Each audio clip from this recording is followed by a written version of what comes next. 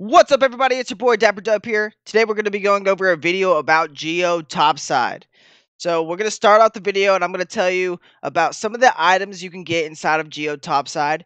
Then we're going to go into the different biomes. Then we're going to discuss 5 star dungeons. And after that we're going to talk about gear progression and gems. Okay, so without further ado let's just get straight into the video.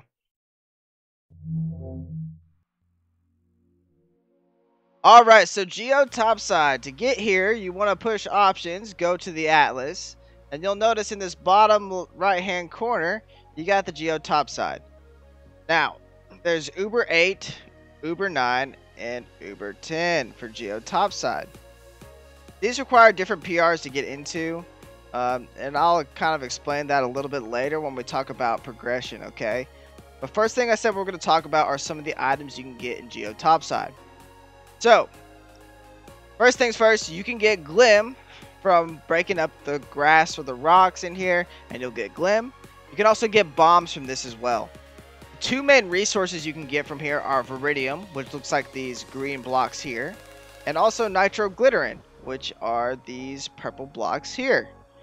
Uh, you're going to need uh, Nitro-Glitterine to level up your your gear you're to need Veridium to craft a bunch of stuff, and I think you need some of it to level up your gear too. So, another items you can get uh, are crystalline cores, which you get from silver and gold rewards for completing 5-star dungeon, and also lesser geodian topside caches, which you also get as bronze rewards for completing 5-star dungeons.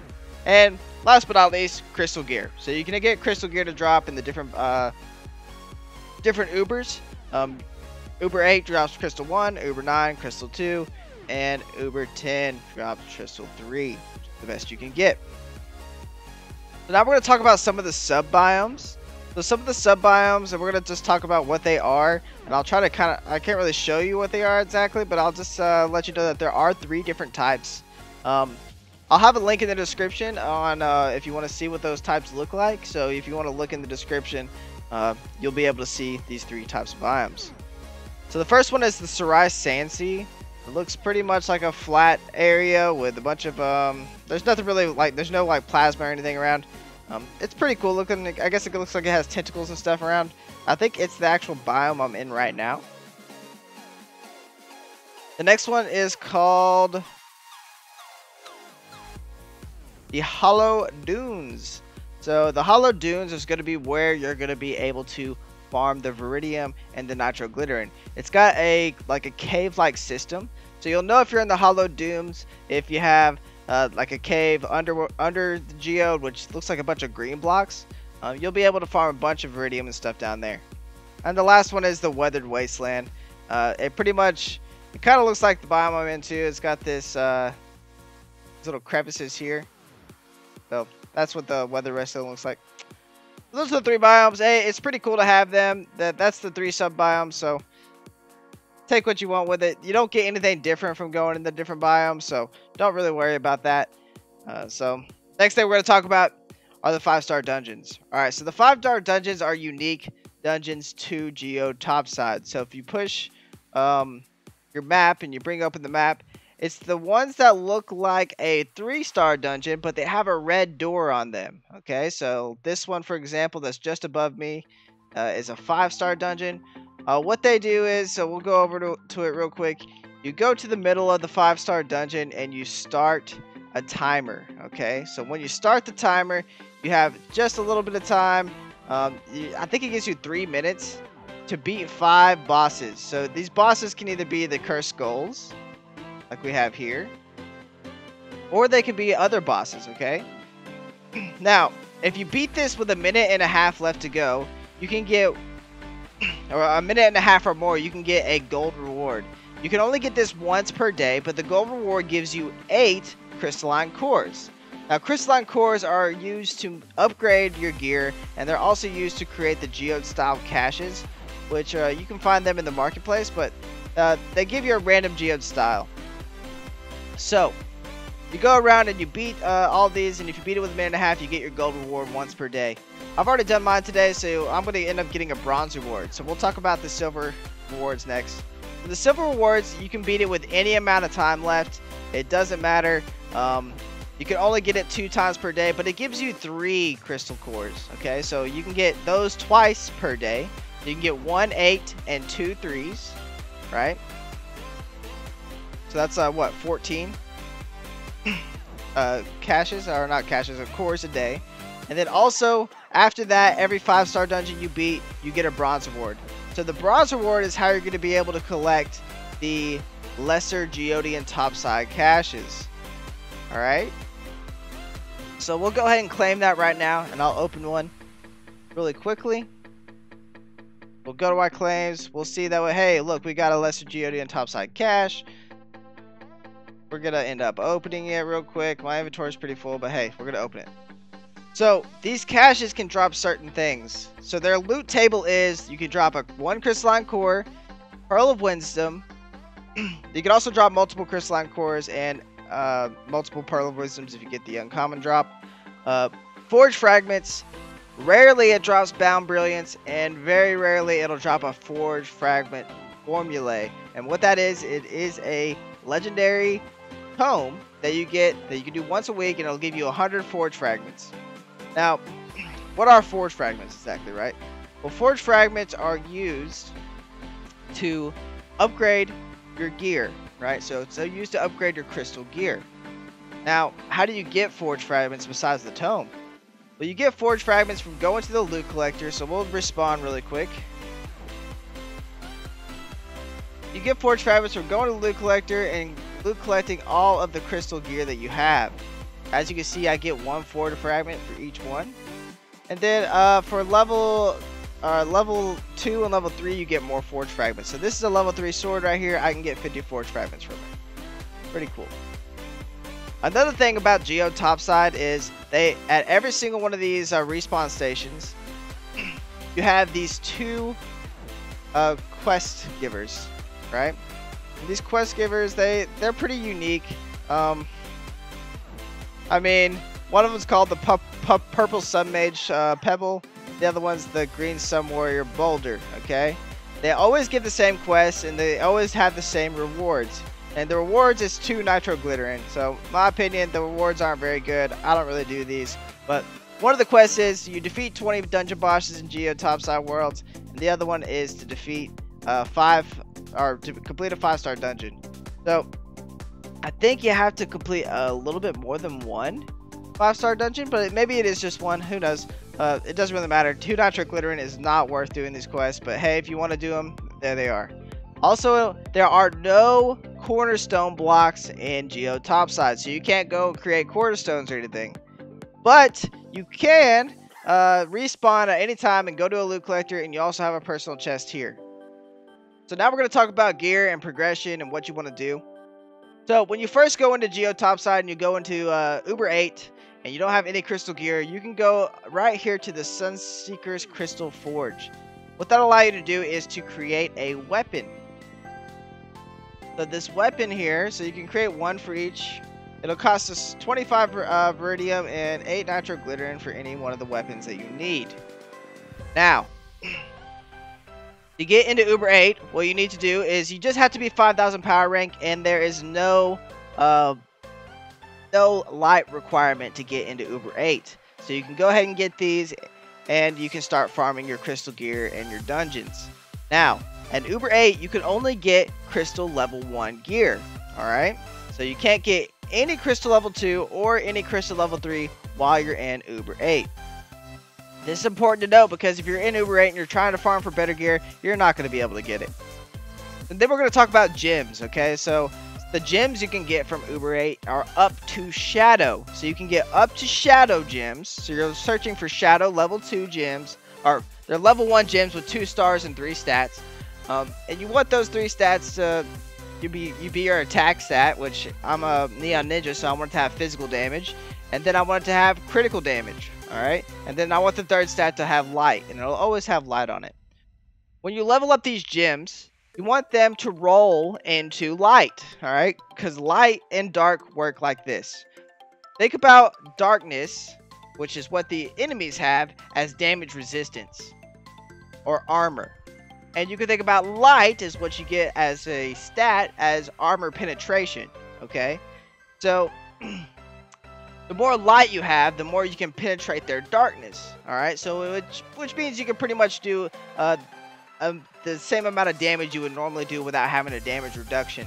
So if you're starting to fight things in Uber 9, which Uber 9, you have to have a, a 10,000 power rank to enter, and then you also have to have 100 light to enter as well. But at 100 light, you're still not going to be doing that much damage. You're going to need more light than that to actually be able to kill these monsters, alright? Because, hey, when they have those damage reduction on them, sometimes people go in there and they're doing like hundreds of damage rather than thousands and millions, okay? Um, so make sure you have your light up. Uh, so my point was, when you're leveling up these gems, when you level up your gems to level 5, 10, and 15, you get a big boost in a gym. You want these big boosts to be in light, okay? Because the armor penetration is going to help you more than anything. You can get your other stats on your water, air, and fire gems, but you really need light, okay? So just take that as you will. If you're having a hard time doing damage in Uber 9 and Uber 10, make sure that you get gems that can have light on them and then also roll three times into at level 5, 10, and 15. So now we're going to talk about Uber 9 topside. So Uber 9 topside, I already told you the requirements. It's 10,000 power rank and 100 light. Uh, when you go into this, you they can drop up to level 2 crystal gear. So then you can just, you know, trade, trade away all your crystal level 1 gear and get your crystal level 2 gear. Also, they can drop up to Radiant Gems. So you're going to follow the same process. Uh, what I recommend doing for this entire process is to try to get to Uber 9 as fast as you can, and then try to get to Uber 10 as fast as you can, so you can start farming Stellar Gems, right? And then once you have stellar gems, you can worry about trying to get the best rolls. Alright, so I wouldn't try to focus on the rolls too much uh, in the beginning because you can always follow someone and team up, okay? But I'm in Uber 10. You saw me do a 5-star dungeon. I did it with such ease because I have all of my rolls into light and I'm able to do over 70 million damage in a hit without using a potion. So if I used uh, a martial emblem, I'd be doing 99999 max damage. So anyway, as far as leveling up your gear, I do not recommend you level up your level 1 or level 2 crystal gear at all. Okay? Uh, the only thing you want to do with those are add pearls to them. Because when you sacrifice them, you can always get your pearls back. But you can't get your nitroglidium, your veridium, or your crystal cores back. So I would definitely recommend only leveling up crystal level 3 gear. Speaking of crystal level 3 gear, where do you get it? Well, you go into Uber 10. So Uber 10 has a power rank requirement of 15,000 and you also need 2,125 light just to enter. Okay, so with Uber 9 it was only 100 and Uber 10 is 2,125 which is significantly more.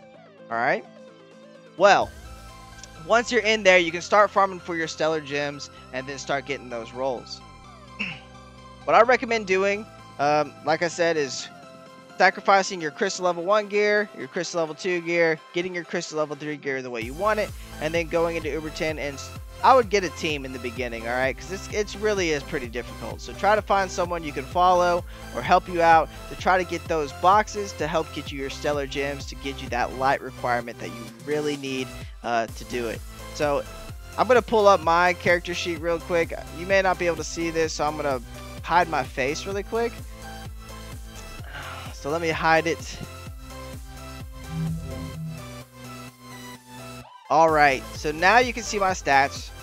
So, as you notice, I have 5,819 light. Alright, so 5,819 light is going to make me able to do significant damage to these guys. I mean, look at that. I'm just able to shred straight through them, no problem. Okay. Now, it says 69 mil. I think it's because I have a different ally on. Yeah, I have a Grim on instead of um, Rap Berserker. Because I'm silly. Anyway, so that's Uber 9 and Uber 10. Uh, for Uber 10, um, like I said, get, a group together. Now, as far as the 5-star dungeon and the rewards you get from the 5-star dungeons, do those change over Uber 8, Uber 9, and Uber 10? And the answer is no. You get the same exact rewards for doing an Uber 8 dungeon, um, minus the the caches, okay? So, minus getting the Uber 9 uh, gym caches and Uber 10 gym caches. As far as like the gold, silver, and bronze rewards, you get the same things for doing your Uber 5. So if you're having a hard time uh, beating beating the dungeons and getting those daily rewards, go down to a lower Uber. Uh, that lower Uber will be a lot easier for you, okay? Um, so I think that pretty much covers everything. Um, the most beneficial thing you can do though is wait until you get your level 3 gear to level it up. So if you're wondering what the max leveled gear looks like and what the PR is, here I'll show you my set really quick. Crystal level 3 hat, you get 650 light at max with max stars on it. Um, 1300 light with the weapon, so you get more light with the weapon. Pretty cool. But it's also, the PR is 1609. And then same thing for the face, you get 650. If you notice, you also get more movement speed and physical damage and attack speed as you level these up than you do in comparison to Stellars. So when you level up your gear, it's going to cost you a significant amount of crystalline cores, and it's also going to cost you 5,000 total nitro-glitterine to get a, a, level 3 all the way up to 5 star, which is a lot of nitro-glitterine just for one piece of gear. So if you want to farm your nitro-glitterine and help level yourself up while you're doing your geode, I would recommend that. If you want to farm your uh, nitro-glitterine on Tuesdays and you have Patron, you can get more ores back when you're mining. It helps a lot uh, in, in your progression, okay? So the big takeaway from this is do not level up your crystal level 1 and 2 gear. Get to Uber 10 as fast as you can. Once you're in Uber 10, farm stellar gems. And at level 5, 10, and 15, make sure that you get a roll into light. Once you're there, you should be having no problems with Uber 10 or at all. You should be able to farm to your heart's desire. Also, if you want to get adventuring quests and do this stuff at the same time, make sure you go to a club that has the Cosmic Gem quest and maybe a Gonda. So, and the Gonda is like a magic find quest. Um, and that'll help you get adventuring at the same time. And you're just really just killing two birds with one stone. Alright, so that does it for the adventuring guide. I hope you guys did enjoy. If you did, please leave a like for me. Uh, leave a comment and tell me your biggest frustrations in Geode Topside. Like, what really gets to you. And maybe some of your best enjoyments in Geode Topside. So let me know. Uh, I read all my comments and I'll reply to you, so don't worry about that. There's one last thing. If you do want to join the Discord, I will have that linked in the description below. Uh, you'll be able to join the community. It's the Dapper Dub community. And we talk about Trove. We also have another couple of games in there too if you want to join and talk about those games. But hey, if you want to join a Trove community that's very knowledgeable, that'll help you out, join that Dapper Dub uh, Discord. We also have Habitat Ally Hunting and Club Quest postings. You know what quest you are and on, on everything. Also, this is compatible with the PC, PS4, and Xbox. So anyway, do what you will with it. I hope to see you there. Oh, so without wasting any more time, I hope you guys have a great day. Adios.